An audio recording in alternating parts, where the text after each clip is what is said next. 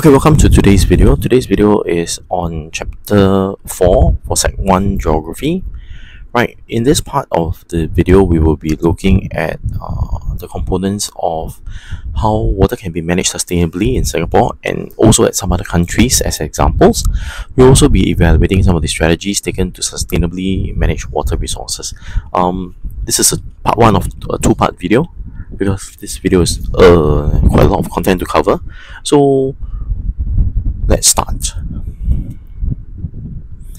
Now, when we're looking at water quality, right, some of these key things that we need to remember is water is everywhere and it's in all of us. And you cannot separate yourself from it.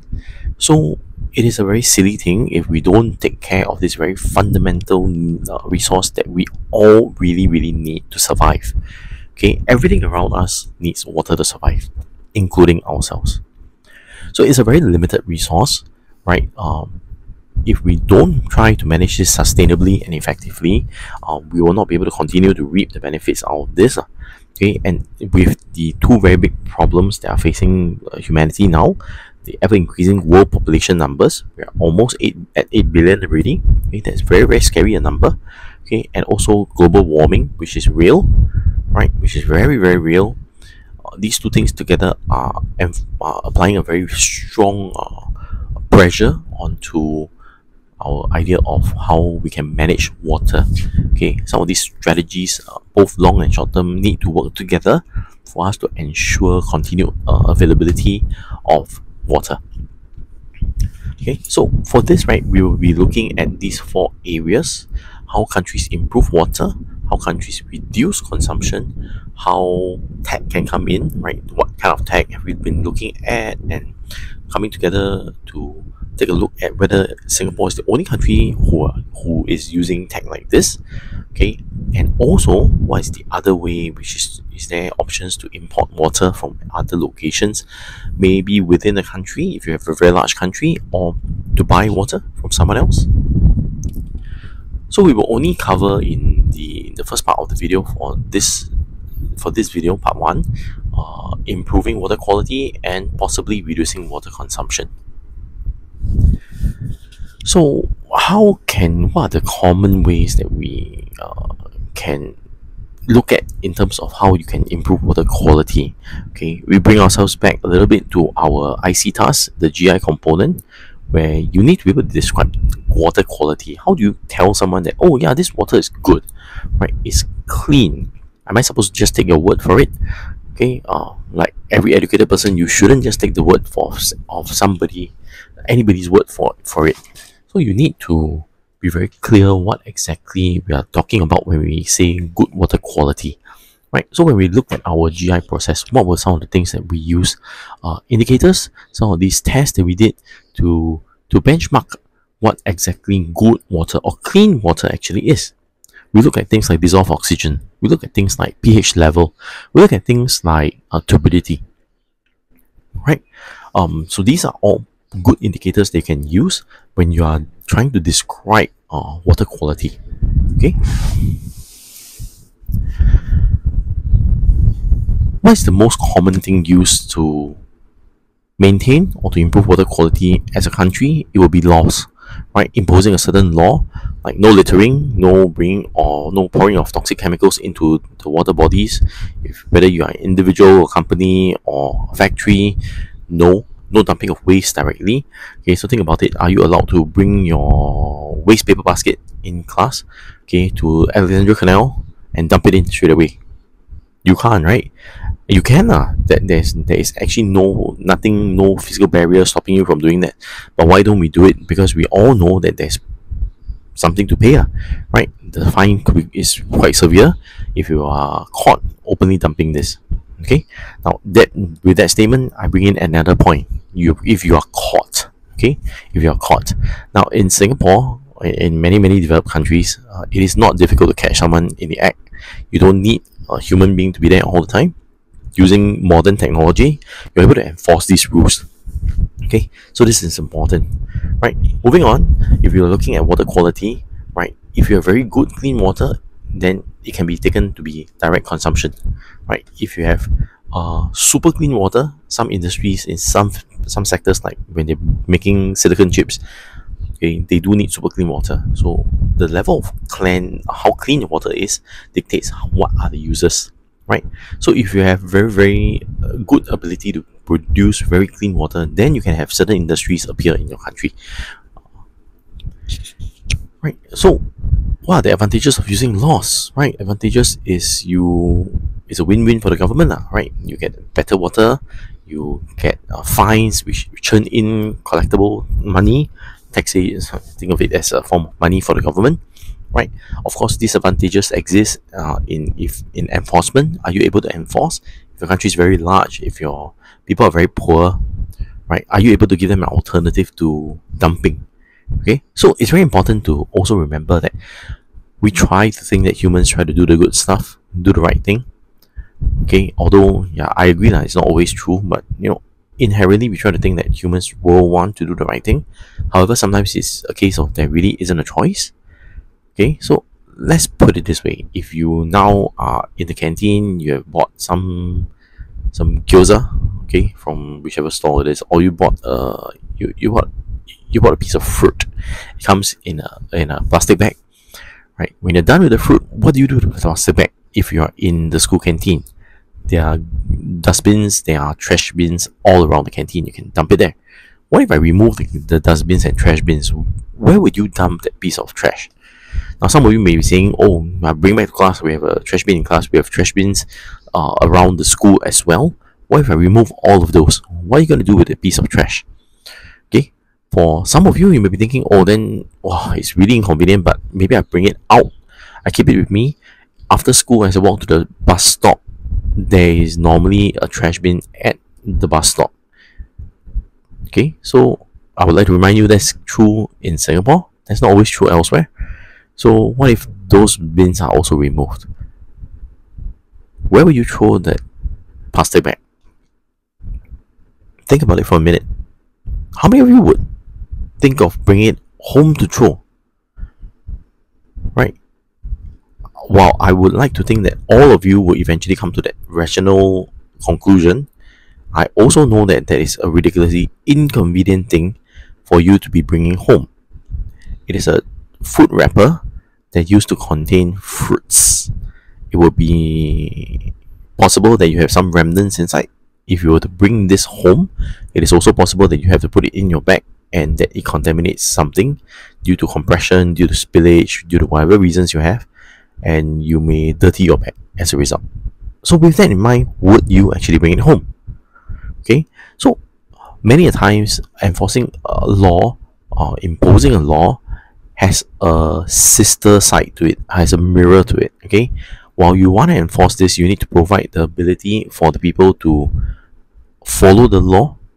You need to provide um, functionalities and, and uh, uh, accessories or or things amenities that can help people who want to follow the rule want to not commit uh, a crime follow the law okay so if you are thinking about having a law like this is it fair to the people if you do not provide the services for them to do the right thing so some of these signs are, are common if you go to water-based areas. So I believe because you guys do the morning run around Alexandra Canal Park, you would have seen some of these signs around. Okay, you may not have looked at the signs carefully to note what is uh, written on the sign, but there are warning signs all around the canal park. So the next time when you go uh, on your own, okay, not during fit run, please and you see sign signs signages, maybe go nearer and see whether you can spot these four general symbols and what they are. Okay. So who runs the protection agency in of water bodies in Singapore? It will be the NEA, National Environment Agency. Okay. So NEA in Singapore? Uh, they they are in charge of all the water bodies okay? And they will be the ones who draft put into law and enforce. Now what are the water bodies in singapore that are protected? Hmm. All the water bodies in singapore are protected. From your canals to your reservoirs to even the coastal regions. Okay, so we have very strict laws uh, that dictate what can be released into the water itself directly, what cannot, what is approved, what will be fined. Okay, in Singapore, all our water bodies are strictly uh, controlled. If you think about it very carefully, the fact that we have struggled with water as a resource all all these years as a country is not surprising to hear this. Is this true in all countries? Unfortunately, no. Right. So if you see this, take a look at the image here. Um, China, right, has always struggled with uh, pollution of the water sources. It's not because they have agriculture. Huh? There are countries with agriculture that have less of a struggle, but it's largely due to the lack of an alternative. Right. So think back to the fruit wrapper case study I told you earlier on. Okay? Uh, there is no clear alternative for many of the uh, industries and many of the people in China uh, in terms of not polluting the water in terms of where to dump their their wastewater safely in terms of how to treat the wastewater. There is no water treatment. There is no alternative site. So even though they have regulations they also have some laws against some of these things. It cannot be enforced very strictly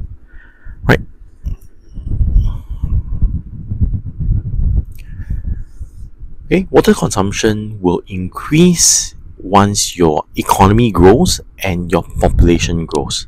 Okay, economy, when economy grows, it generally means that you have more businesses, you may have more factories, you may have more companies, and as a result, the need for water in those areas will grow. Let's bring you back to the previous part of this chapter where we look at industrial water pollution. Okay, so when you have more and more uh, economic growth, you will have more industries, and as a result, you will definitely have more water needs. Similarly, domestic use, right, individual use, with more people, there will be more needs. Okay, so this is very important. Uh, water actually needs to be treated and cleaned. Okay, although we are closed loop and it is a renewable resource, it can run out if you take more than you can replenish. Okay, so water is a finite quantum on Earth. If we continue to produce more and more humans, you may run low in terms of a global situation. Okay. The other problem is, of course, climate change. When you are looking at climate change playing a role um, it's still a closed loop. Huh? So let, us get this very clear first. In terms of when you're looking at water itself, it's a closed loop. So the total amount of water that is available on planet Earth will be the same. However, the more humans you have, the more water is locked away in their bodies. The more uh, the climate changes, the more water is locked away in non-surface water stores. So if you have more water in the atmosphere, we have more water that's trapped away in terms of groundwater. We have more water that is surface water but is polluted. The total amount of water that's left for consumption will be greatly reduced. So keep this in mind. This is very very important, right? Uh, who has a role to play in controlling water consumption? Everybody, from you to the authorities to the agriculture sector and to the industrial sector. Okay, so everybody needs to come together to play the, the part in controlling water consumption right? So the, the next thing then will be naturally to, to segue onwards to how countries can reduce water consumption. Okay, so if you're looking at once again countries, right? What's the most natural thing that we can do when you're looking at countries? There's regulation. Uh. Okay, so authorities can always come in and uh, regulate. You can raise public awareness, right? You can encourage people to install water saving devices. So to bring you back to the earlier part of this chapter where I showed you a video on what you can apply from from NEA, right? The water saving uh, set, the the waterproof bag, or, or that you can put in your toilet bowl system, the tap regulator that you can put into your tap so that the flow of water is a bit slower, right? So these are all the things that the authorities can do in terms of the industries, right? Uh, as a responsible industry player, monitoring your equipment, right? No leaks. These are very, very small things, very, very important. Okay, think about the hotel industry. Uh, the last time you went to a hotel, right? Did you reuse the towels if you stayed for a couple of days, or do you ask for a change of towels every day, right? Uh, this is a very common thing nowadays in hotels. Um, uh, some skeptics will say they're trying to cut costs, but I would like to think that um, if you think of it positively, even if they are cutting costs, it is still doing good for the environment. Okay, do you really need to change the towel every day? Right? When do you use the towel? You use it before you shower or use it after you shower? So technically, after you shower, you should be a clean person, huh? right? Technically, you should be a clean person after you shower. So think about it. You are using it just to wipe off the the water, the remnants of the water, which is by the time you're wiping down, you should be clean, covered in clean water already. So it doesn't really hurt for you to reuse the towel one more day, at the very least. Okay, if not two days. So when you don't constantly ask for a change of fresh towels, you don't constantly have to wash all the towels in the hotel, and there's massive savings in terms of water. Right? Now, actually, if you are looking at water consumption, awareness is key. Okay? So most of the time, um, people will take the better choice if they're aware of a better choice. Okay? How to entice them more save money. If the better choice leads to monetary savings, then greater chance. Because not only do you feel good about your choice, you know your pocket feels good too. So money talks, right? So one of the biggest advantages of uh, reducing water consumption is really okay both the social and financial. Okay, emotional well-being goes up because you know you have done good for the environment uh, financial well-being goes up because you know you have saved some money are there disadvantages right it takes time right there's a lead time required for all parties to react especially if you go up the into larger groupings like your companies or worse still when you talk about governments these are all larger problems right they all take time okay so this is very very important Okay, the second thing is of course cost. It's expensive, so not all governments are able to do this. Not all individuals are able to make uh, the better water choice. Okay, so this is very important as well. We're looking at this. Okay, how do countries reduce water consumption? What does Singapore do? Okay, the WELS scheme, um, where we have water efficiency ratings for products that use water. So what exactly is one of these products? Let's write this down. Washing machines.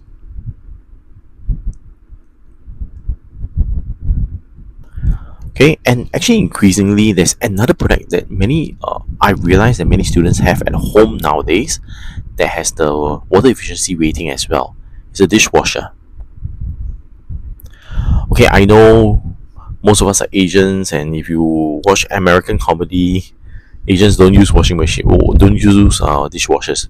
That's actually not true. Uh. Increasingly, we have more and more uh, exposure to this tool. Okay, right.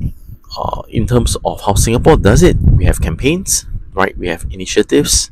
Okay, if you're able to uh, reduce, okay, uh, we also have taxation in terms of water tax uh, the water consumption at home right actually comes in different brackets the first block of water that's used by your, your house in a month you're charged at this rate if you exceed that block you're charged a higher rate per unit of water this will discourage people from using too much water unnecessarily okay so this has quite worked quite well in singapore are we the only country doing this uh, attempting to reduce water consumption no right so if you look at the other case study in the textbook will be south africa okay uh, south africa experiences periods of dry climate regularly.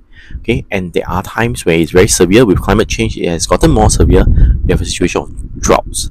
Okay, so when you have this and you have tourist destinations, you're gonna have a dichotomy where you need to decide what you want to do. Right?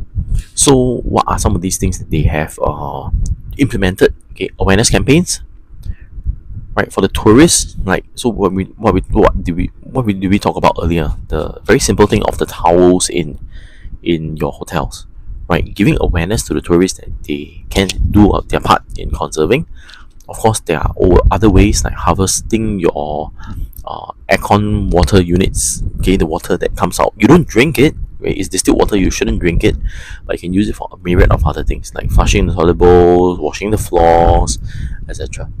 Okay, so South Africa is another country that has does this. Right?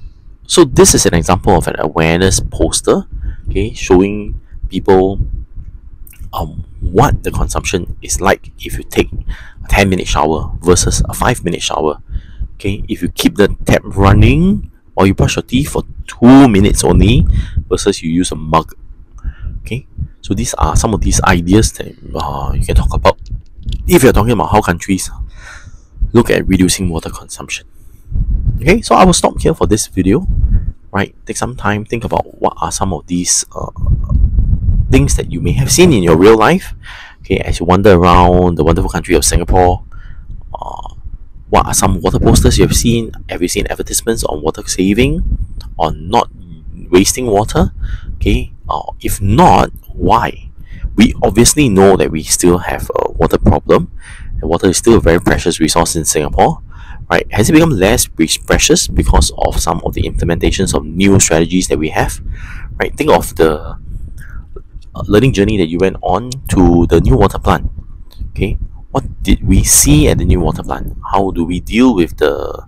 How do we harness the power of NEWater to supplement our water's resources? Right. Uh, I would have said this in class many many times. Twenty percent of what you drink in tap water is NEWater. Right. So it can be cranked up if there's a need. Um, is that the reason why we don't see so many water saving advertisements anymore? Okay. So with that, I will stop the video here. Uh, come back for part two where we deal with technology, how tech is used in by many countries to save water.